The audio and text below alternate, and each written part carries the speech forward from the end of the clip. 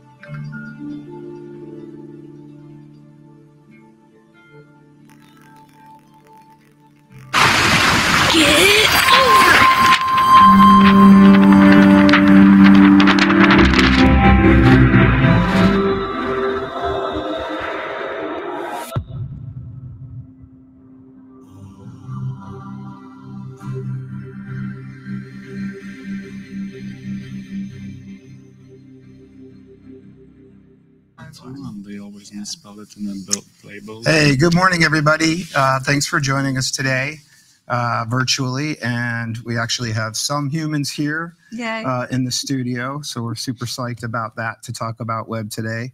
And we hope everybody gets a lot out of it. Um, so welcome all you innovators and your thinkers and your dreamers. Um, on, as we kind of stand on the cusp of uh, 2024, going into 2024, the digital landscape is uh, evolving at unprecedented velocity. Um, today, we dissect some of these changes, not only to keep pace, but to kind of, you know, be a group of folks that uh, hopefully some of us are leading that change. Um, in the world of web, uh, basically the only constant is change. Uh, been doing web here since the beginning of web.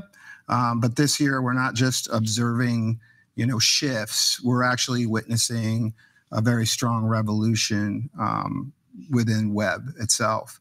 Uh, artificial intelligence is moving uh, from a support act to a lead role, uh, shaping content that's not only personalized but prescient. Um, interactivity and immersive experiences are setting kind of new standards. Uh, the boundary between user and interface is blurring a little bit. Uh, with accessibility and user-centric design taking center stage, ensuring that web is inclusive, uh, an inclusive domain for all. Uh, sustainability is another huge topic. Um, with ethics and digital design, it's no longer optional. Um, it's imperative. Uh, our carbon footprint of uh, the digital creations and ethical implications are under scrutiny, pushing us towards more responsibility and web practices, which at the end of the day is probably a good thing. Um, we're also joined by a folks uh, today on our panel. Want to make sure I get to the right places here. Um, Shana Silverman, who is our COO here at Overit. Shana's worked with our dev team for about a decade and leads the Overit team by providing guidance and strategy on processes and procedures for all of our web uh, efforts. So thank you, Shana. Um, Mirik Jancour. I said it Almost. correctly. You almost got it. Yes, almost. Uh, Mirik is a seasoned UI UX designer with a rich background in visual design, over 20 years of experience, uh, and a BFA from Pratt. Uh, Mirik is known for his innovative approach uh, to design. He specializes in creating uh, amazing digital experiences uh, beyond the screen. Um, so, Mirik, thank you for joining us today, and um, we're all looking forward to uh, some information um, from you. Uh, let me make sure I got my stuff in order. And Dan O'Leary. Yeah, Dan O'Leary. we can never forget Dan O'Leary. Uh, Dan is a senior analyst in SEO here at Overit. Uh, over the course of his career, Dan has worked with hundreds of clients in every, practically every vertical I could imagine, uh, from enterprise level Fortune 500 to family owned small businesses and a wide range of nonprofit organization and governmental agencies. Um, so as we kind of delve into today's discussion, um, let's challenge ourselves to kind of think beyond the current trends. Let's envision a web that's not only connecting and informing, but also elevates and inspires us. Uh, the future of the web is not just about what we can build, it's about what we should build. Um, and we are very excited about talking about some of those items. Uh, before we delve deeper into the panel, I just wanted to anchor our discussion in some tangible things. Um, some web technologies that we should kind of be on the lookout for that are shaping our digital experiences. Uh, AI driven personalization. Uh, I'm trying to catch up to the slides. I'm going blind. Yeah. AI digital present, uh, presentations uh, is, you know, web experiences that are adapting in kind of real time to uh, people's strategies and their user behavior and their preferences. Uh, sustainable web design with digital sustainability becoming a global imperative, eco-friendly and web practices are in need. Um, immersive experiences, uh, we kind of are seeing like new technologies, new wearables, those types of things. But AR and VR are literally uh, taking uh, front and center into how people are um, utilizing the digital landscape. Uh, we also are moving into a lot of like voice activated things, so voice user interfaces. Um, voice activated device are growing. Uh, voice user interfaces are becoming a vital component for web design, making digital content more accessible and providing a seamless user experience. Um, we're seeing a lot with like micro interactions and motion UI.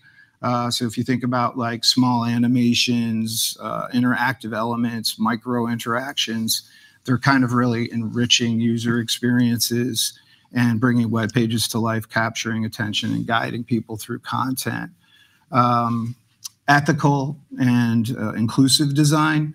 Uh, inclusivity is forefront. Uh, with a strong emphasis on ethical design principles, this means creating web spaces that are accessible to all, uh, respecting user privacy, and fostering a sense of community.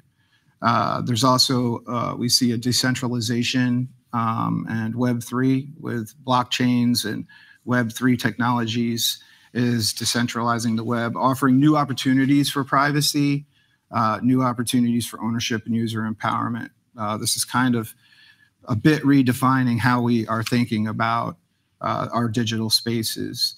Uh, video, we're seeing a tremendous amount of video, um, pushing boundaries and enhancing user experience, AI driven video personalization, uh, immersive experiences, AR and VR.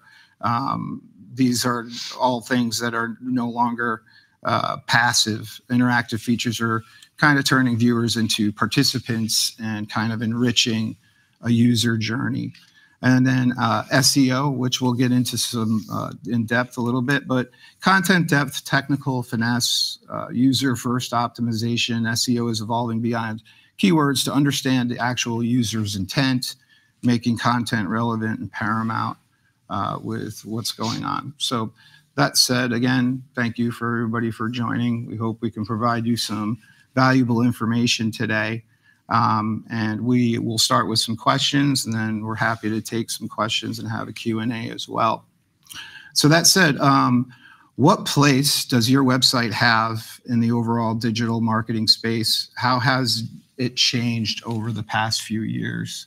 Uh, and we'll start with Shana uh, speaking to that a little bit. All right. Well, um, it's definitely your digital hub. So you want to. It, it's where you can engage most directly with your your customers. Um, it is where you educate and um, and uh, and present your brand experience. Uh, so, what is your messaging? Um, how, what what are your goals? Uh, it's it's a place where you can personalize content for people. Um, essentially it is your it is your hub, right? Yeah, I mean, I think we've seen a lot of uh, web experiences move into specific micro journeys for a pathway. Um, so really working much deeper into the use UX of the site um, and how we're trying to accomplish. You know, businesses have expanded; they have multiple objectives. Um, so really focusing on how do you create a very seamless user experience. Um, you know, it's no longer uh, just the brochure type thing. We're trying to, you know, find objectives uh, for either businesses or organizations that are providing very personalized content uh, in a very uh, simplistic and easy to use way. So it does. It starts with Mirek, right? And it starts mm-hmm. with research and, and the team. Right. And uh, yeah. Yeah. Um, I mean, there will be a question eventually, right? Yeah, right. That's, that's, right. But right. Understanding the, personas. The user experience is definitely uh, the the very base basis of any any web development and yeah. redesign or or creating a brand new project. So without that. Um, I don't think you can design a website. We don't know where to go. right. Without knowing what the user wants. That's right. Mm-hmm. And we do have, we see a lot of websites with that have like different service lines, kind of like what we were talking about, like, you know, different service lines, different product offerings, different audiences, even uh, that they're trying to reach. And we see that everywhere from like education and healthcare and service based companies. Um, that they need to create those. So how, how have you guys kind of seen that change over the years on how we approach that? I mean, I think, I mean, you always do research, but I think there there's more research and more um, mapping out of, of what are the goals? How are we getting people there? How are we providing for the different types of users? They're the self-directed user or the the user that wants to be led down a path right? We have to create the paths for everybody. Uh, we have to understand where they're going and what their goals are and how to deliver up what they're looking for as quickly and efficiently as possible. So so that's a lot of the the prep work that we're doing to understand that. I would also add maybe the the omni-channel of the whole experience uh, knowing all the different paths pathways that the user can get to that particular goal that we want them to get to and making sure that they all together all these all these touch points um, so the user can you know so we can give them the best experience. I, I think that's the biggest thing i've noticed uh, and also the dynamic content that will follow that you know uh, the personalized content that will basically follows you around as you're uh, browsing or experiencing going to places. I've seen a lot of different examples, all the way to the digital uh, billboards to email, email, marketing. It's all connected. You know, you just have to uh, connect all of these uh, touch points together. And then things like Netflix, where they're like actually learning more about you mm -hmm. and presenting you with more content that you'd like. Um, and then and then we measure, right? So we've we've done a lot of research, we've built this, and then we have to examine how well it's working and how well people are interacting with it. So where are people falling off? Where are people having struggles, and how do we fix that? So it's not a okay, we did all this, we created this, here it is, right? We have to continually work on it and evolve it. Yeah, I mean, we've kind of evolved over the years where you know you have like maps of websites, um, but you know, now delving into that user journey and developing, you know, visual workflows for how user journeys work and how that's going to be mapped out. Um, it's very interesting. So, uh, Mirek, since this is like one of the areas of your expertise, research journey uh, informing, um, what more would you add to that? And before, can, sorry, yeah, but so I, Dan is a big part of this too, so mm-hmm. just tie him back into it. Yeah, yeah. um, it's it's there is a slide here. I guess we could start about the whole idea of of what UX is and what UI is, and this is the slide that keeps coming up a lot. You know, if you browsing LinkedIn, this would pop a lot, and I just want to say this is not accurate. uh, so basically, you know what this is a meme and uh, it's it's in my opinion, and I've actually did research about this a little bit too, which the UX comes in.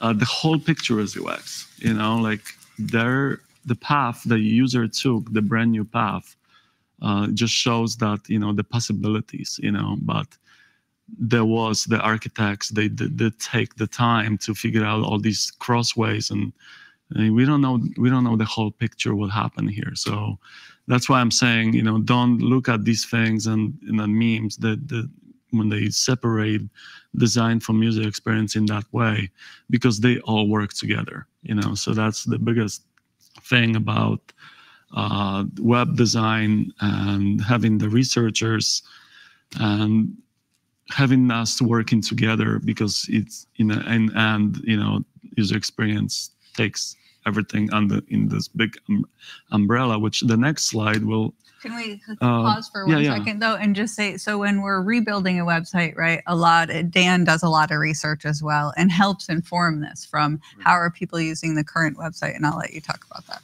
yeah, like one of the key components of keyword research, and, and I like to think of keyword research as an SEO is like it's just a part of what we would call like persona development, right? Like you're doing focus groups, you're doing interviews, you're doing um, all the sorts of um, bits of research that sort of come together. But the search engine component of it is like during these user journeys, like what do people put into Google, right? And typically they're putting in, um, you know, I would the acronym a lot of SEOs use, or not acronym, but a, expression is go, see, or do. Like users want to go someplace, Um, they want to see or learn something, or they want to take some discrete, specific like action. They want to sign up for something. They want to add something to a cart and purchase it. They want to um, give you your email or phone number and, and have them contact you. Whatever it might be, whatever the goals for your website are, before they get to your website, they're already kind of sharing those goals, right? User intent we would call it um, with Google. So my job is to make sure just like me and Mirik are like on the same page in that regard. Like we both have a common understanding of like what the objectives of the website are, what are the actions or outcomes that we're trying to like foster through the website, um, and making sure that obviously like, all right, I know like what a user wants to do, but like how do they do it? And mm-hmm. that's like where Mirik and I like comes in because it's now going to be like informed by design, but we're not just coming up with things that we think are super neat. Like it's obviously like heavily informed by like data, keyword research, trend reports, things like that. Um, all of it comes into uh, the fold, and that's kind of like where the the SEO component, I would say, brings it full and circle. I think it's interesting. Often, you know, the client comes to us and says, "Okay, here are our goals. Here are our personas."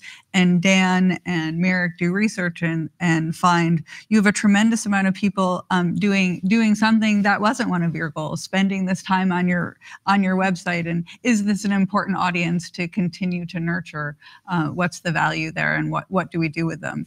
Uh, right. So I, I, think that's always mm-hmm. interesting because we find that a lot yeah i find that often working with a lot of like nonprofits and organizations mm-hmm. like there's these like micro audiences i guess is the best way to describe them. They're like they're not like when you kind of do persona development you you you you, give them names right? And you give them titles. It's like it's kathy and she's the ceo and then there's linda and she's the donor right? But we we kind of box them in and even when you're trying to do something that's like robust and like organic as a persona you're still sort of putting it in boxes.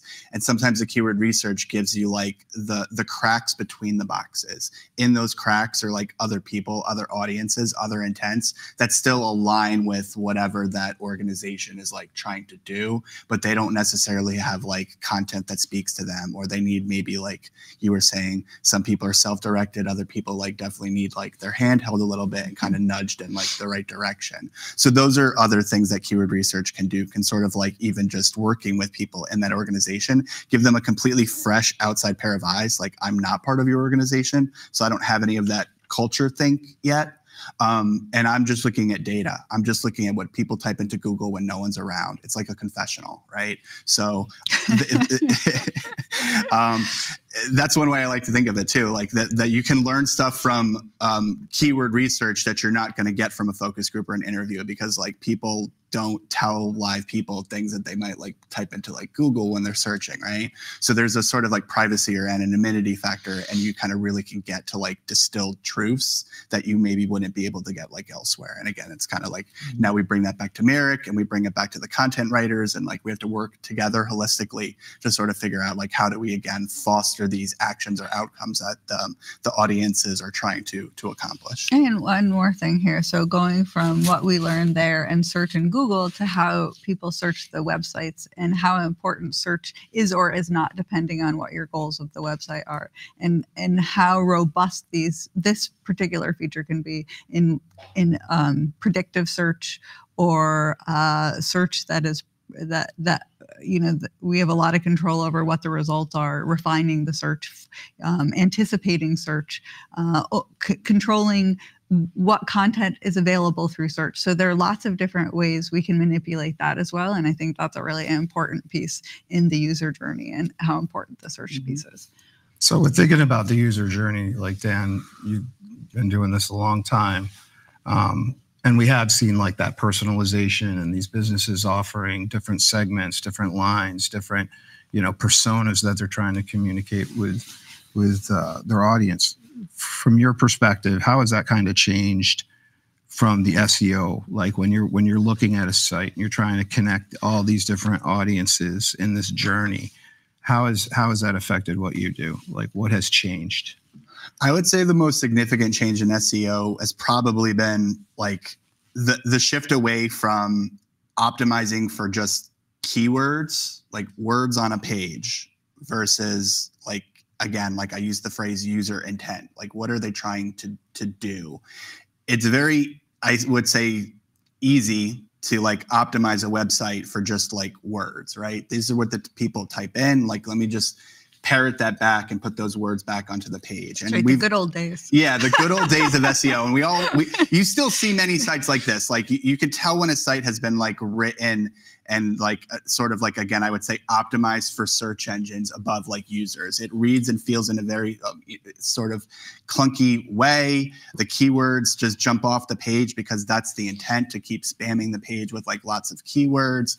And like it kind of maybe answers your question or meets like your informational needs but like not in a satisfactory way not in a way that like speaks to anybody's like genuine brand or voice or again like true north if you're an organization or a nonprofit um, so keywords still matter and like i'll talk a little bit about keywords like later but like it, it, it's not about the keywords anymore. It's really again about like what's behind the keywords. What are the psychological and motivating factors that are um, you know driving the search to begin with um, and em- embracing that. I mean seo still in 2024 have a reputation as being like ruthless spammers who will do anything it takes to get to like number one in Google. And sometimes you've got to like do SEO heavy tactics, right? I think even Google themselves, there's been a lot of updates recently. Um, the helpful content update, the, the, the emphasis Google put was helpful content, right? Um, they put it right in the update. So a lot of sites kind of got dinged because they were essentially, you know, becoming more like content spam farms than like actually serving like users, right? So every time kind of Google uses the carrot and stick approach, well, we recently had like a stick episode where like a bunch of sites lost rankings due to it. And I think, you know, from from the SEO perspective, it's like, well, what's the what's the takeaway? Um, many SEOs still haven't changed their tune, but the smarter ones will realize like the, the takeaway is to embrace UX. The takeaway is to embrace like other aspects of marketing that aren't about keywords, right? They're about the, the whole user journey. And just again, using SEO as like one lens, one one way to kind of look at the data and like inform the design, but not like take over the website and take over the copy and take over like the entire thing because you're beholden to Google more than you're beholden to your own users, right? The second you start doing that, when you make those like trade offs, your conversion rates are, are gonna like I feel impacted. And Google is like stressed. I can't emphasize this enough. If you go to Google's documentation, they're like, what are we looking for for our search engines rankings. Like, what do we want to even put in our rankings? They want to put good content. They want to put stuff that people actually want to read and click on and engage with.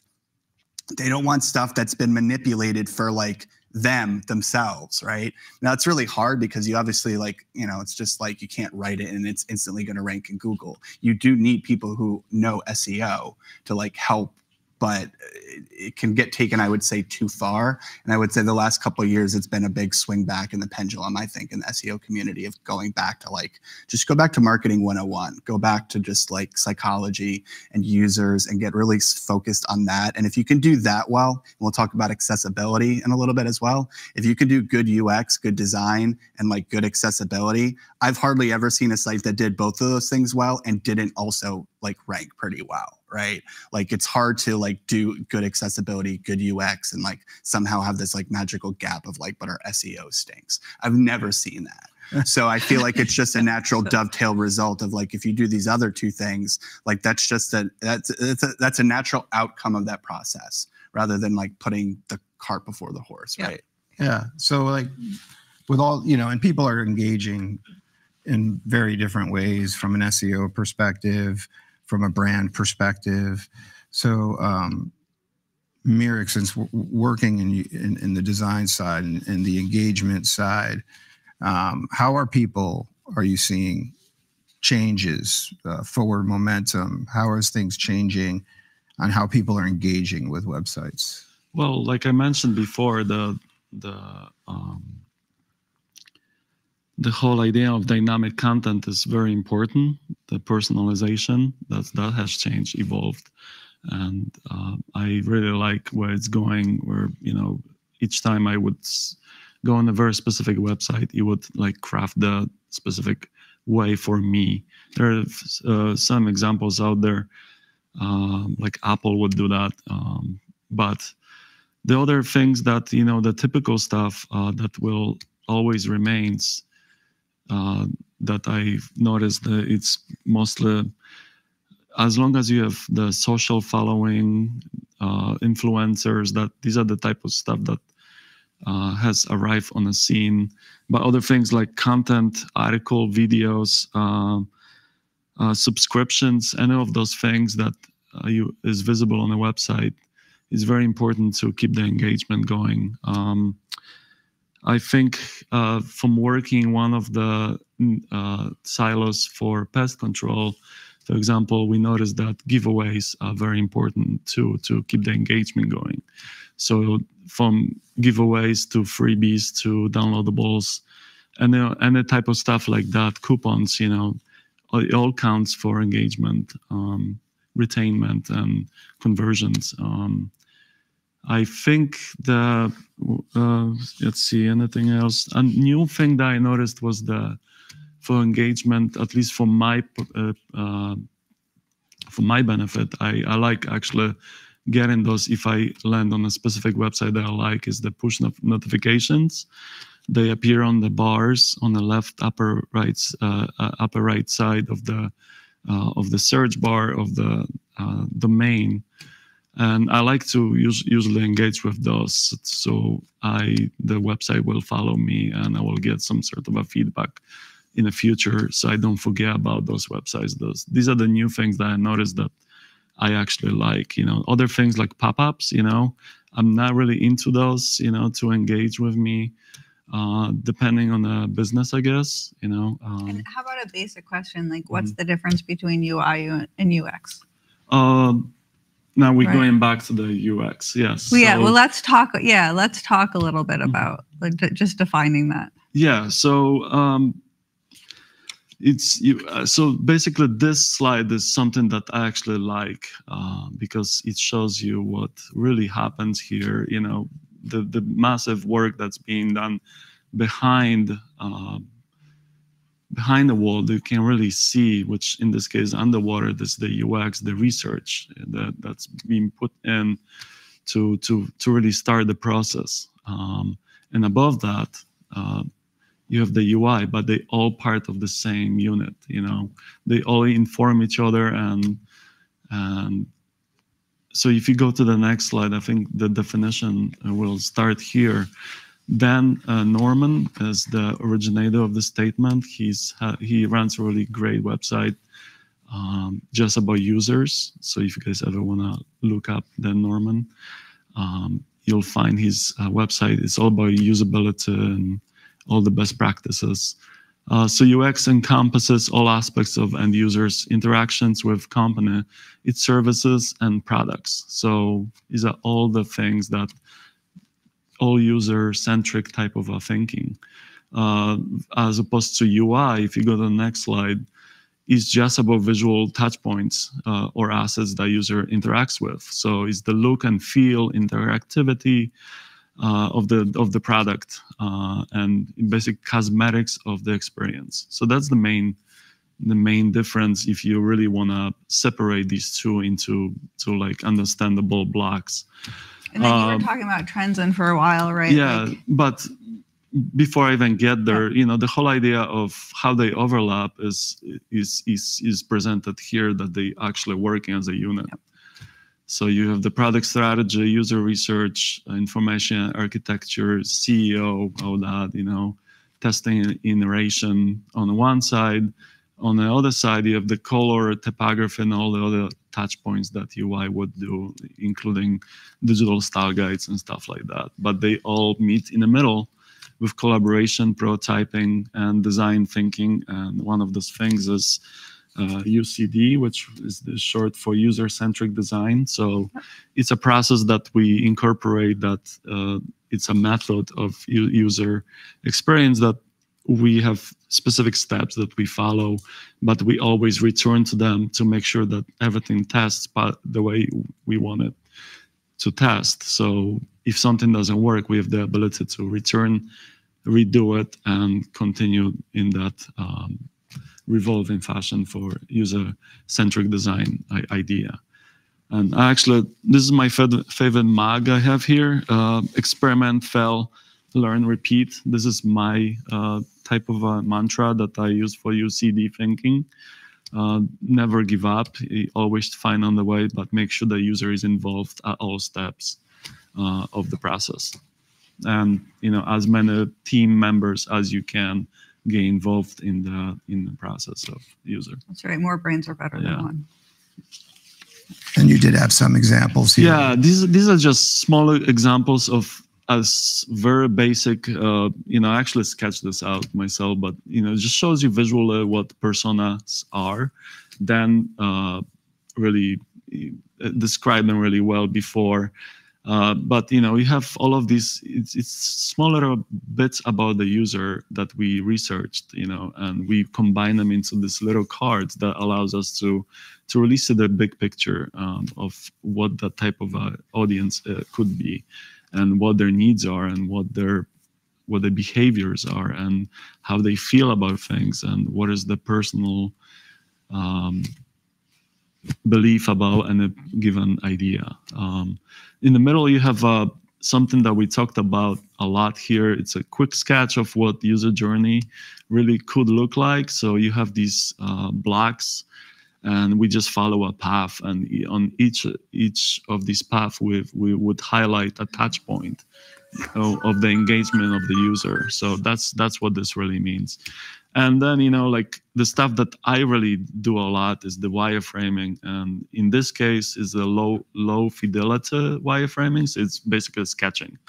So a lot of iterations of that happens before i can actually move on to uh, prototyping just to make sure that everything is in place. And I would go back with, again, using the UCD model to make sure that all the information and the content was is accountable from from the from the SEO perspective and the content writers and digital marketing. So wireframes really help to to start the process. Um, and in this case, you know, you have I usually do uh, I would do desktop and mobile. Sometimes when the, we have the largest scale clients, we would include other uh, other devices as well. But for most part, it's a really quick sketch iteration. And sometimes we are asked to do uh, hi-fi wires, which are grayscale. They actually in the prototype that we uh, we would utilize further down the road, but um, they basically reflect specific functionality that we need to discover. Mostly it would be filtering or like search functionalities that are more complicated. Yeah, or that like the we've utilized. conditions That's web right. app that we Right. did for the ski mountains, So right? Something are- like that. These are the methods that I would, you know, we would mostly use to to get to these. And there's many, many more um, uh, research methods of, of the UX. And the, these are the lists of some of those. So these are split into discover, testing, exploration, and listening. So requirements, user inter- interviews. These are that's the discover discovery phase. That's where we would conduct audits, you know, and re- researches with uh, interviews with uh, with with the users, and we actually have a room in the back that we sometimes utilize uh, to for, this type of purpose. um, then you know the exploration or the we already talked about the um journey maps and user flows are really big too. They help us to achieve those goals quicker. Um, so the typical when the user jumps on a website, we want them to get to the goal as as fast as we can. We also do want to engage them. So there's different types of thinking. If you want to engage the uh, the user, then we craft that experience on a on a landing page or the home page. But if there if there is a way to get them to that specific goal, if they don't have time to waste on a website, we need to make sure that the navigation is easy to use and and uh, call to actions are clear and uh, there's as least as possible steps to get there so they can get to the goal. Um, and then listening surveys uh, analysis a b testing all of those things are very important. And we mentioned accessibility as well uh, these these accessibility things are very important these days. uh, we seeing uh, law firms following different websites these days to make sure that they're accessible. Uh, different states have different rules, um, but uh, that's something that we're trying to implement uh, with color, with typography, with contrast. So, and how we name all of the imagery, for example. Mm -hmm uh, for for impaired people that cannot uh, see or something there will be description on the image what that image is. So there's a lot of small small layers of those of those things that it's all part of that research method. Yeah um, even on a small scale from an ada standpoint um, we've seen a lot of just you know it's it's important for every website that's kind of going up to be looking at you know some level of ada compliancy um, that's definitely changed over the years. And also, kind of what Mirek was saying about the discovery piece. Um, you know, being able to start your website and get into the website development really needs that your brand and your messaging has to be extremely tight and understandable and clear and even to get to a, a, a very valid discovery phase for building out the site um, you know a lot of companies have come and that's just not really been facilitated yet, where that clarity around the brand and the brand messaging is not completely uh, under wraps. If that, if you come with a very strong brand messaging, brand uh, guidelines uh, going into web development, it's definitely helpful for those requirements that are needed for the website as you move forward um, in building. So, um, yeah, Dan, talking, and I know we love to talk SEO, um, but SEO concerns for designing or rebuilding a website. Can you kind of talk a little bit about because we we get hit every day practically of either a rebuild, we're building a new site, we're moving domains. What are the steps and pieces that are most critical to people when they're looking at doing so, such a thing? Yeah, that's a good question. So, at a high level, I would say like SEO, you could kind of think of it as like it having three equally important pillars or cornerstones. Um, you have like technical SEO, which we're going to talk about in like one second. That'll be like kind of the main thing web developers and web development where that'll tie in. There is some on page SEO stuff that definitely matters. And we've kind of already talked about like keywords and user intent, and that kind of speaks to on page stuff.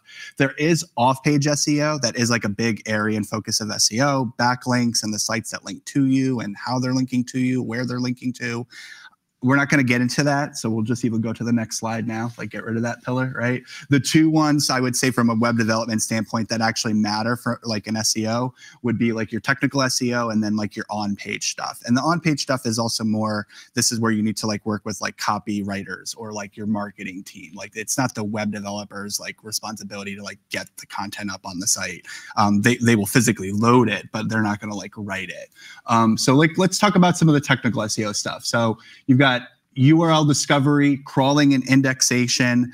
You want to like um, Google and other search engines are going to physically like render your page as a browser would these days. They used to kind of do it as a bot. Now they do it exactly as like what they call a headless browser. So they're loading it exactly as a user would see it, and they're measuring like load times and responsivity, right? The core web vitals that you might have heard about. Those things are all going to matter. Um, and then you've got SEO specific markup, which I can like give a few examples of that are going to like really matter that you make sure that you're using those tags or attributes in there. And then you've got some on page stuff like content optimization and how you organize your content. And again, there's kind of like some markup that that helps your SEO. So let's go to the next slide. Um, so for technical SEO, like the main things you want to do is like Google has to find your pages. So you got to get them found Google has to crawl them. So you need these pages crawled and indexed, and then they need to get like ranked according to some like search engine um, algorithm, right? That the ranking mm -hmm. factors. So the first part of that is like, how does Google even find pages on your website? So we call that URL discovery. Um, there's a variety of ways they do it. One, they kind of just will like um, follow links from other websites and find your website and then just start crawling every link that's on your website. So this is like where your menus and your internal linking structures, first and foremost, can foster this process. If you have a very boxed in website where just like every page is an island unto itself and they're not linking and you don't have good like menus or sub menu structures, it might be a little bit like harder for Google to like follow like the, the link structure to fully crawl the site. But one thing you have your advantage is like an XML sitemap. So that's one thing I would definitely say is like a must if you're launching a website. Definitely take advantage of XML sitemaps because it's basically just like a directory of all the pages pages that you want um, indexed by a search engine. If you do not want it indexed by a search engine, do not submit it through your XML sitemaps. And there are certain times, certain pages, you might have um, privacy stuff, right? Maybe you're working in healthcare or financial. Maybe it's like a paid subscription site and that yeah. content's behind a paywall, content, yeah. right? Gated content. So there might be stuff that you definitely don't want indexed by search engines, but if you're trying to attract new users or visitors and you want that to be ranked by Google, you're going to put it in your XML sitemap. And they have sitemaps for URLs, just traditional pages. If you're heavily using video, you could submit your video URLs as a separate type of sitemap unto itself. Images can get their own sitemaps. Any sort of attachments or files that you might have on your on your site, all of them can get their own XML sitemaps. So definitely use those because they're going to like help Google um, find all the pages that you want ranked, and they're going to crawl them. And again, your site architecture and your internal linking structures can help that. Um, then indexation. So we build sites here in like what we call a dev environment. It's like a sandbox that's like quarantined away from everything else. Google can't see it yet. When we're doing that, we use a specific markup called no index. And that basically means if a search engine were to accidentally find it, you're telling it specifically this is not ready to be indexed yet.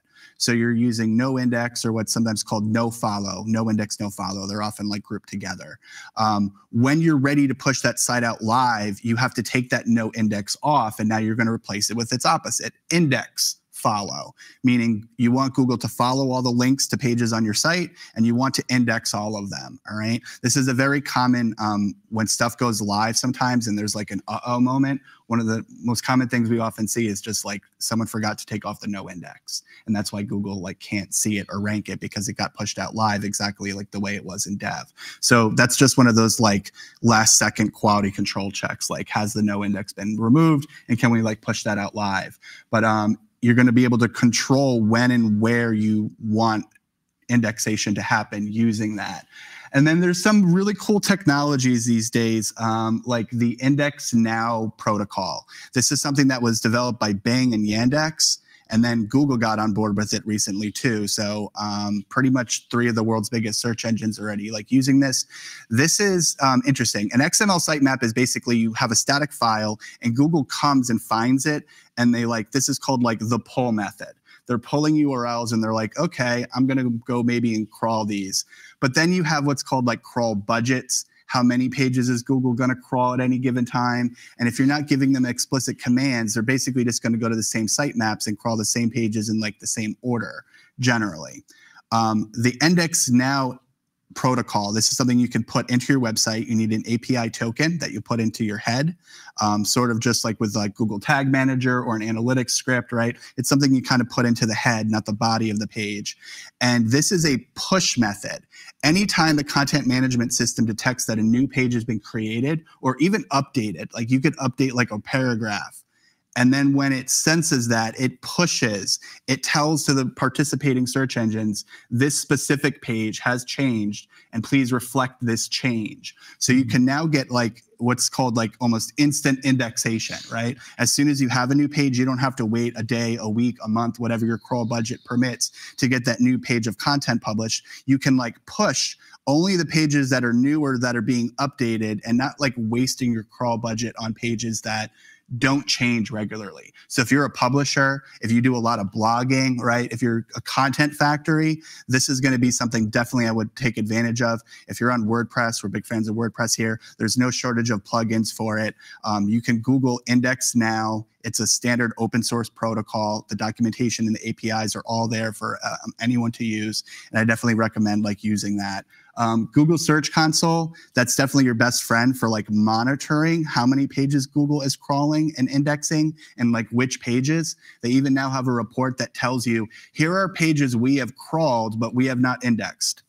And that basically means these days Google's almost getting to a point where there's like too much content on the web and they have to choose what they actually want to like index now. Like you can't just have a web page. It has to have some sort of value to a user or even Google's eyes. So it's kind of raising that content bar like a little bit, um, but it's based out of purely um, technical and financial concerns because Google, you know, they have all the servers in the world, but there are still only so many servers in the world, right? So they have to cap now how many pages are willing to actually like index, and they'll give you a report that says like we've found these URLs, but we did not deem them to be like indexable. They don't really tell you why, but if you go and look at that report and really put your head together and like be honest with yourself, you'll often find very common reasons why. Oh, that's all duplicate content, or it's all thin content, or there's not really, um, there's a lot of maybe like a whole bunch of like intrusive ads and pop ups flying all over the pages, right? There might be some very clear reason why Google hasn't deemed like that they want to like include it yet. So Google Search Console is definitely going to be something to take advantage of to see those um, crawling and indexation signals and the data that Google's giving back to you. And then I guess I would say the last one is like core web vitals, like your page rendering. Google is prioritizing um, three things these days speed, interactivity, responsiveness, and visual stability. Those are like the three core things. So like the, the site has to like load fast. The metric they use is largest content paint, meaning the most biggest visible thing on the page that people when they see the page like not loading and not loading, they get frustrated and they abandon. Even if you can't fully load all of the page, whatever's the biggest on the site and this is where user studies have like come in and shown and demonstrated this people will stick around if they can get some semblance or indication that the page is starting to assemble that it's actually rendering in the browser. And the largest content paint the thing that's biggest and most visible above the fold tends to be the things that people like latch onto. So they score you on that. Um, obviously like image compression um, handling and managing your JavaScript because a lot of stuff these days in web development is backed by JavaScript, um, and JavaScript can increase your payload size as you're trying to deliver it through networks. So be mindful of those things. Um, in terms of the interactivity, that is like if I'm clicking on a field and I'm entering a form, if there's like any sort of like lag, like in that interactivity, or if you're clicking a video button and you're pausing it, right? Any sort of like lag that goes above I would say like 100 milliseconds starts to become noticeable by like the human um, nervous system in the, in the eye. So this is again where the user studies show that people get frustrated. They start calling your site laggy or janky, right? Whatever it might be that interactivity responsiveness how quick and agile is it is something you're being evaluated on. And then visual stability is basically like as the page loads sometimes every once in a while at the last second like a new image or a new part of the site loads and it rearranges the entire rest of the site. So maybe a user was about to go click on like a call to action but then the call to action like moved at the last second and they like clicked on something else or what they're clicking on isn't clickable anymore. It, it's like it skips almost. It's kind of like if you know if you think of music like how a cd CD used to skip. This is visual skipping, um, visual stability and predictability of if I'm moving my mouse cursor I'm going to take an action that I can predict and know that it's going to be there in 100 milliseconds is very critical to like the user. So those are the three things that are being measured that kind of give you like a good, better, I'm sorry, good, okay and then like poor like needs definite like clear improvement. Um, and then sites that pass all of those get like good core web vitals and google has basically come out and said like look this is not the most important ranking factor. We don't want you to like obsess over this but like this is a ranking factor that is in play live during a ranking system. It is important and i think we can use that to talk a little bit about um, the framework that you're building your website on. Mm-hmm. um, uh, so right given that um, you know budget is always a constraint, but the way that we approach websites is is building custom themes because when you buy an out of the box theme or framework uh, you're getting a lot of extra bloated code on top of it. And yes. a lot of things have to load into the website when um, it's unnecessary. It's not it, it's not needed for the page load. So the more streamlined and cleaner the code is um, the better your your your web vitals will be, but uh, and the better the overall performance of the website is. So we want to make sure that we have a little bit of time to talk about that and answer questions. I know we're well, close like the WYSIWYG stuff, like you know, there's, Like- there's a lot of like platforms out there. like Squarespace and Wix, Wix, all these types of and, you things, know, like- or or they or Shopify. Shopify. But are there Yeah. things there that we should that people should be looking out to? Like, what are the cons?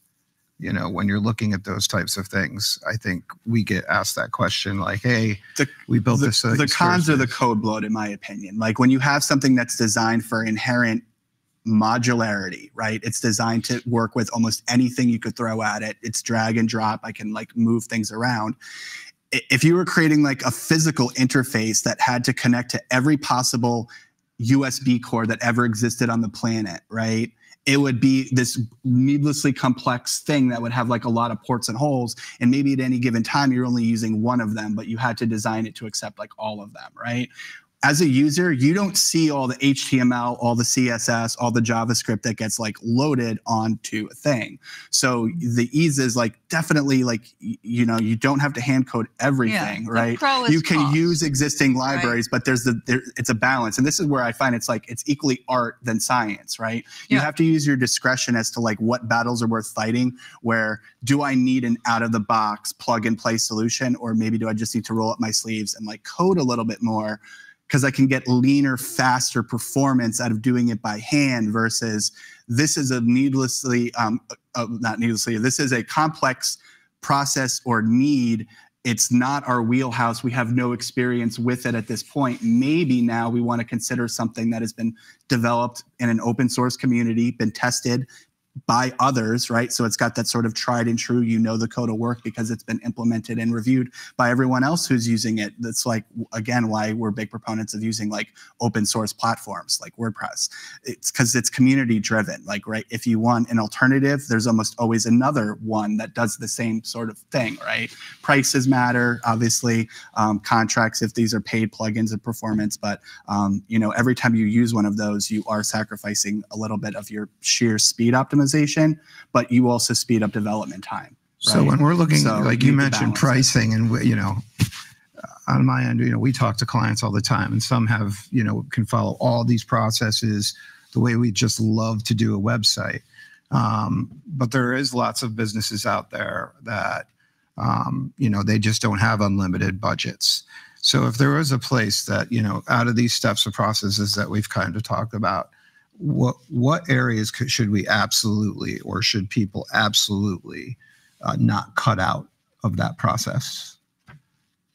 I mean, you want to do a little, you want to understand your goals and take the time to set your website up to uh, to reach your goals. I mean, that that's really important. As far as the framework that you're building on, you know, th- there's compromise. There's compromise in anything. It's I think it's most important to have a partner that will talk you through the decisions so that you understand the the pros and cons of the decisions, the cost impact, you know, where we can cut corners, where we really shouldn't cut corners. You know, it's about a partnership and really working together to understand um, each of the steps. And I would say from an SEO perspective, Google does not care what content management system you use. They don't care what if you're using Angular, JS, like like it it doesn't matter to them really. Again, it matters like what are you trying to accomplish for their end users and is it relevant to the queries that people are typing But in it does there? matter when you're using a, a, bloated platform because it's not yes, going yes, to. yes. not that's what Google cares well. about. Yes. But the name on the box or the It name of the company, like right, I, I like I assure you, because some people think that like, oh, Wix isn't SEO friendly or it can't be SEO friendly or this one is better. And I I, I try not to get into those debates because one, I don't think they're productive. But two, I don't really think at like an algorithmic level that's really like what Google is even like looking at. It's more like what are the outcomes of your choices, and that's what you said. You need someone Yeah. who can like guide you and give you good advice through a process that you may um, not be 100% familiar with. Um, Do we want to go to questions? Yeah, I just you know just quickly mentioning you know analytics. Uh, we had some more information to talk about on analytics, um, but you know have a game plan in place of kind of like what is the actual type of data, what is going to help your business, what is going to actually help you achieve your goals versus just kind of relying on oh well we have to have you know everybody's going to have Google Analytics, but what you're looking at and how it's actually impacting your objectives is to actually put time and thought into that. Um, there's a lot of different technologies that you're going to be able to get as much information as you could possibly imagine not just from interaction on on site, but also personas, the the engagement, those types of things. So um, I know that was probably a lot of information, but what questions uh, does anybody have? Any questions here? Uh, Supposed to go with the mic. We can re- we can repeat the question. It's okay. I have a question. Do you ever have a client who is like, um, needs to be convinced about the kind of like testing maintenance portion of design? You know, I mean, you mentioned like it's not like you serve it up on a platter and it's Right. and it's perfect. Um, but you know, obviously that like second phase is like it's more ongoing. It's more of a question. How do you kind of like talk to clients about that? Okay, so just to re- repeat back, the question is, um, do we have clients that question the what happens after launch, right? Right. What kind of support is needed? What kind of ongoing maintenance? Um, most of the websites we build here, we also host. So um, that that starts the conversation as part of the hosting. We have an ongoing relationship. Uh, we build probably 85% of our websites at this point in WordPress. So um, making sure your WordPress sites is, are up to date, the core is up to date. If you've used any plugins, whatever plugins that they're up to date. Otherwise, it opens you up for hacking, and that's never fun. Um, uh, you know, we do as part of that package. Uh, we offer backups, so pretty much if you do get hacked, we can just roll it back. If anything happens to your site, we have multiple copies of it, like from any timestamp, and we can pretty much throw it. The more um, the gray question is really comes to support. Like, what do you need? How how much many resources do you need to help support this website, right? Because we do want to be making sure it's it's working for your users and have some sort of a feedback loop on how well it's working. What kind of struggles are you seeing? Uh, what kind of enhancements do you want? You know, we built it but but maybe there was you know you had dreams of much bigger and, and the way that we build them it's very easy to keep building it can we can just keep build building onto it um, and what kind of support do you need there? Do you need support for uh, for ongoing testing? Do you need support for on content updates? It can it, it can be anything. So so that one's a little trickier because I think the website itself is a big investment, and then a lot of a lot of uh, clients don't understand that it's an ongoing investment, and the more you give, the better it will be, and it will grow. And if you purchase any other software, it's you know you don't just buy it these days and they give it to you. You know there's there's ongoing support to it. So I think that's that's lagged more than anything. And now the majority of our clients have hosting maintenance and an ongoing support retainer of some sort in order to help maintain and build out and enhance the website and test and have some yeah, it's part of an evolution of the business. or Yeah. your, you know, the organization. Um, it's never, you know, a start stop situation, but you know, definitely that mindset is is there. But um, you know, just from a technology standpoint, the things that are interacting with sites, such as like your, you know, uh, marketing automation software, review Yeah. software, you know, moving into like chat and how all the different social messaging platforms are coming into the communication uh, ease uh, within sites. It's an ongoing thing. Like for most of the clients that we work with, just on the marketing technology side of things, we have to have ongoing conversations and, and work being done. But it's a really good question, you know, but we have faced that many times, you know, that type of thing. Did we answer it? Yeah. Okay. Any, any You're other welcome. questions? Other questions? from the live audience? Yes. I have two questions. The first one is SEO and the second one is design. For the SEO, you said that the keyword research was really important. Mhm. So when you're working with the content writers, is it like the chicken and the egg? Like how much is it like you're doing the keyword research and then you report that to the content writers and then they write it and then you guys kind of have this like back and forth. Mhm. So that's question. Yeah. So one thing um, I try to avoid personally is just giving a spreadsheet to a copywriter. I, I did that in the past when I started my career and it never worked out super great. So what I do now is like I will spend a lot of time in my keyword research tool. I use one called SEMrush, but there's many out there you can use. But they generally, once you've kind of done your research, they'll export what you've learned in a spreadsheet, right? And it'll have the keyword and it'll have how many people search for it. If you're um, interested in like paid per click marketing, it'll give you an indicator of what the average cost per click is, etc. Um, at that point, what I do is I really um, I, I do what I call tagging. And what I'm basically doing is I'm applying semantic labels to the keywords. So the keywords are just like I discover them and I kind of add them to my list, but they're not necessarily categorized or organized yet by like user intent. So when I have whether it's 100 or 1,000, and sometimes it's up to 1,000 keywords, I will one by one, row by row, assign it a semantic category or label. And I'm really looking for like I'll write a brief up. I'll like do the research and I'll do all the analysis in a spreadsheet. And then I'll write up a document for the copywriter called a keyword research brief. And it'll basically will break down um, at a page level or a site level. Typically, I prefer to do it on a page level, like we're going to write content for this page, and the audience is this, and the purpose of the page is this that we learned through the keyword research. And really, what I want to give them is I want to make them aware of what are the things people search for and break it down in terms of adjectives, verbs, and nouns. Like I break it down like a grammar school teacher.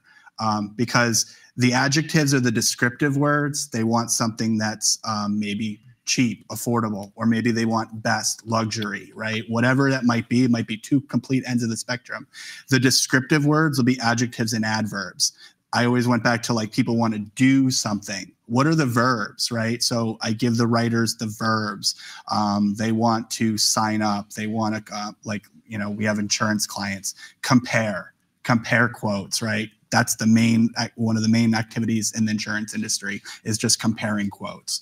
So uh, what are the verbs? And then the nouns are probably the things that you do make or sell on the website right? So if you really just kind of give the copywriters an indication of here are the most common adjectives, verbs, and nouns, and um, explore a little bit of like, again, I would say the user intent or psychology if it's not immediately clear. Sometimes the words make it very clear what the users are trying to do, but sometimes you might need a little bit more of, I would say, like a, a breakout or a, a elucidation of like what is the um, the reasoning or psychology behind that keyword group or cluster, as I call it. I, I like to call them clustering them by intent. Um, so I like to write documents that basically distill stuff you would get from spreadsheets and like make it clear and the language that copywriters that are more used to that are not used to necessarily looking at things in rows and columns um, they think of like words. So that's why I find that here are the verbs, adjectives, nouns, and everything else is basically just connecting words, right? You don't need like if, or, and, but. Like those are just glue. They're, like they're not core concepts. So if can focus on the core concepts and give that to the copywriter, and then I let the copywriter write. I never try to micromanage copy, and then I ask to just see it as a review like before you publish it and then I give feedback. So yes, it is a collaborative process. Yeah, we don't. And it starts with like a brief and then I let the copywriter write and just be creative and do what they do. Because again, sometimes I'm working with copywriters who are like, I write all the content on this site. So I have a particular voice, or like we've determined from our brand guidelines that the voice is confident yet light but reassuring right? We, we create again even for ourselves a persona of how we want to come off and an seo is just gonna he's gonna muddle that dish right? It's it's he's gonna he could give, be given all the right ingredients but he's not gonna get the recipe right the way that a copywriter would. So i really just try to let the copywriters write and then again this is why you work in dev sites. Build that out in a sandbox and then i can review them page by page go back to my keyword research. Do I feel that the intents have been properly spoken to? Do they align to what the page was supposed to be? If so, check, ready to publish. If there's any sort of things, then it becomes again, you know, like a conversation or a dialogue. Could we get more content, or could you take this piece of content and maybe move it a little bit higher up in the copy? Everything's a negotiation. Everything's negotiable. Things But like- I think wanna- looking at quality right. content is important. Like we've seen sites where it's just like they're just trying to rank, you know. And I think just touching on back to the brand, back to the actual voice, back to your actual messaging, that you want to have quality content that's being developed, and then working with like the technical side of SEO to work collaboratively. And and there's lots of different ways that we've approached that. But to the second point of your question, um, you were talking on the visual side.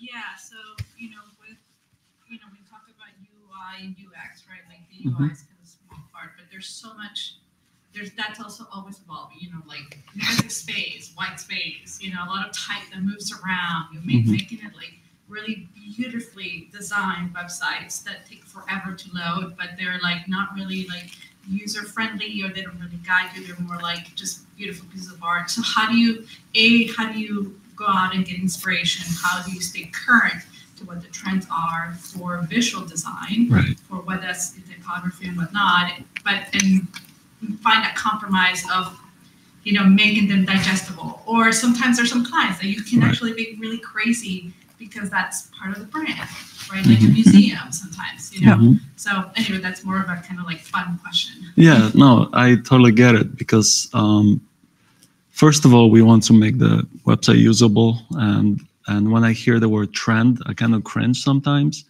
because it almost implies that it's something will not last, you know. So we, for most part, we want to create the websites that last, long-lasting um, experiences. So there are trends that are common that are usable and they've been tested and uh, they are really helping the user to navigate. Like, for example, the whole idea of the animated scrolls uh, that uh, has emerged past two years. that actually help in the store uh, when there is not limited amount of those to to move along to in an engagement engaging way. But when for most part, I want the website to to be trend free and to be digestible, usable, and clean.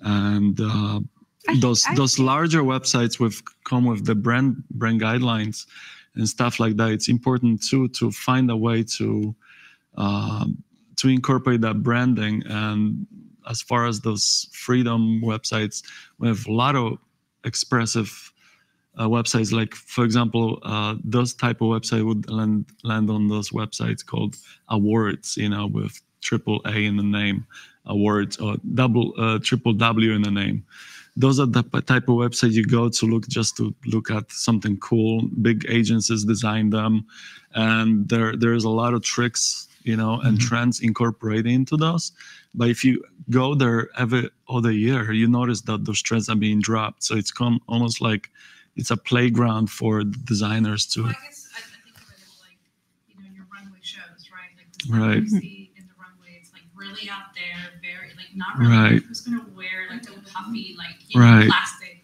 exactly right. And they will go away But then it gets distilled down to like, okay, you know, then you know, a designer will take like, oh well, the plastic or Mhm. like you know, the use of round shapes, you know, and then it gets distilled down. So that's what I'm hearing from you. That yes, you still go out and you look at like stuff that is going to inspire you, but then you kind of distill it down to like what are the really the elements. Yeah, and you, I would always support that with the usability. Like I would go on the pre- best practices, uh, look those up, and see which of these particular elements of that trend will, you know, it's could remain if there is a user, if there's a testing done on those, you know, how user is engaging with those particular trends. And um, you can conduct these tests yourself as well and see how how that uh, behaves for your brand. If it doesn't Trends work, that endure I become best Right. practices. it's a Right. it's an evolution right Yeah. because right we've all worked together this team has worked together for a long time and i see that and you talk about things moving in and out it makes me crazy like right for no reason things are moving Right. all over the place but but the little the little finesse here and there is really lovely right Mhm. and and can draw your eye when everything's moving it doesn't help so so going out seeing what people are doing but picking out what's actually helpful to the user Right. and a little inspiring right and i see that in a lot of the things that merrick does um, uh, in, in the designs and how they've evolved over the years and the objective of the business. yeah. You know, I mean, like you were talking about, like we have a Tyrannosaurus Rex swimming in a lake animation on our website, and the load time is probably not that awesome. It's not. I told And you. and and you know, you know, they'll say, and honestly, I don't care because it's because who doesn't like a Tyrannosaurus I Rex? love the And I love the right? Agencies Tyrannosaurus. or an elephant sitting in a tree. Yeah, So I mean, yeah. I think, but So- but th- but that's not going to fly for somebody who's trying to sell a product, Right. you know, or somebody that's trying to accomplish that business goal. And I I do think that when you're looking at the sites that, you know, not looking at it as just a separate entity from your business objectives. And to really have clarity around those business objectives will help you find the right tone, the right path to go. And we But I improved we a lot are- of time on that dinosaur. I will also say, like it was slower in dev when we tested it, Mhm. and you know, like I'm a big proponent. Shana knows of. Uh, I always talk about Pareto, Pareto's law. You get 80% of the returns from basically your first, often 20% if you think about it strategically, 20% of the efforts. So we got our 80% of the gains, and then it was like, is it worth squeezing? More and more milliseconds at a time and it wasn't we had other bigger fish to fry that day so again compromise everything's negotiable Everything's a negotiation. So, um, what other? Any, yeah, do, do you have more any other questions? questions? Yes. Yes.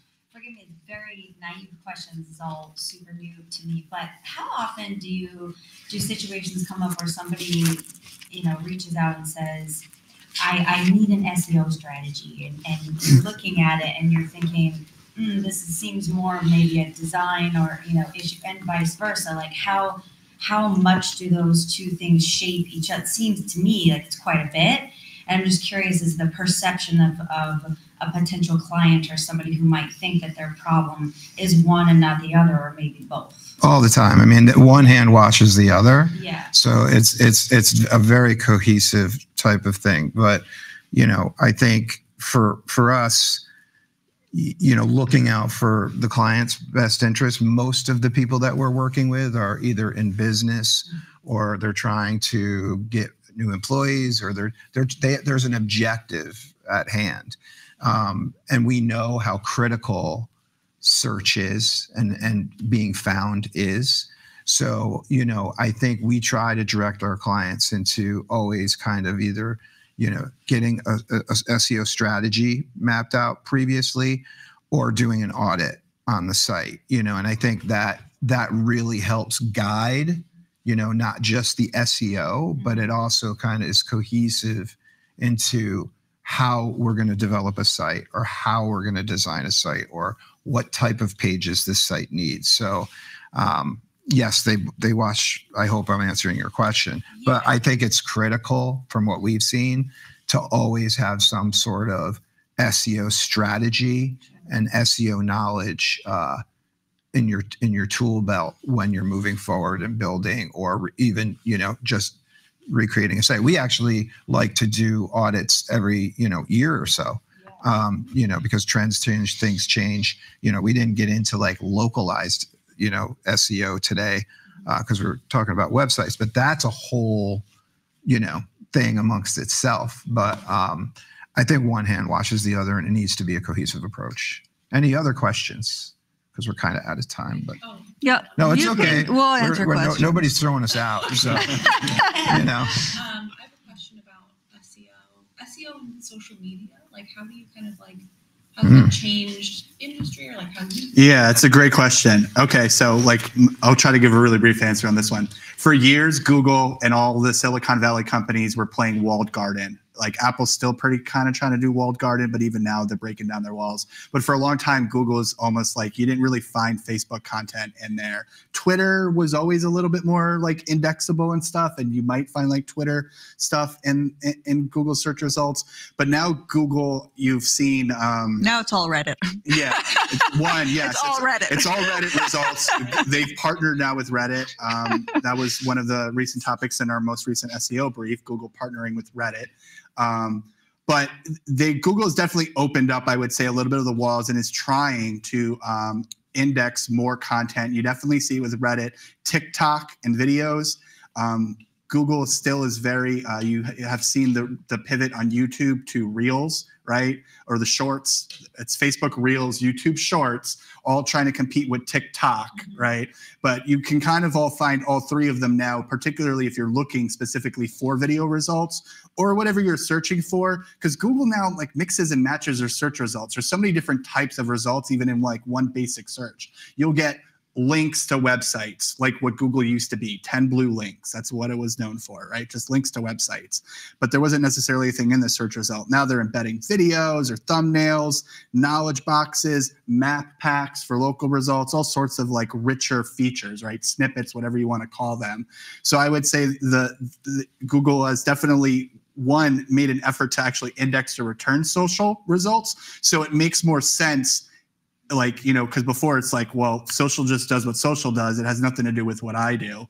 Now i would say like well if content is the fuel that feeds the seo machine right content is a natural place to go and get a lot of that content from. You don't need your website anymore to be your primary vector or dissemination point of your content. It could be a channel through which other stuff that you house on YouTube or Facebook or Instagram, or maybe you're on Pinterest, whatever community might be, the website can become like part of it, like a hub and spoke model. Um, and definitely, if you're doing good, good social content, um, you will find no shortage of it if it's relevant to particular search, search results. So if it makes I would say sense video, for you as you a know, company, yeah. you know, If it makes sense. should be part of that. Yeah, and I, I, just two quick things to to add to that. I think that like using social media to like drive more content engagement is very helpful from an SEO standpoint. And two, we're starting to see like going back to the localized SEO side of things. We kind of look at Google My, if you're familiar with like Google My Business pages, um, that that's almost like a social platform that helps ranking with like within uh, return results for the pack, right? So I, I think looking at those types of things and how those things Yeah, again. Google really likes its own strategy. products, so. yeah, you know.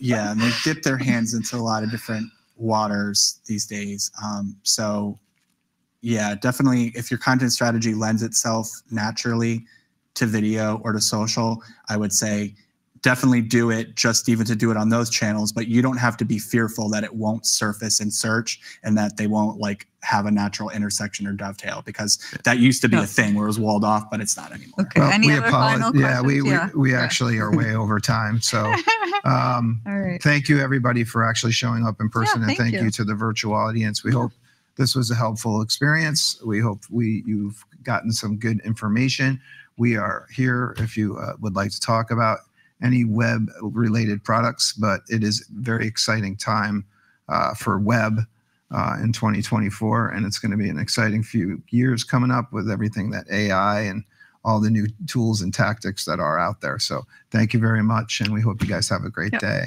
Thanks. Thank you. Bye.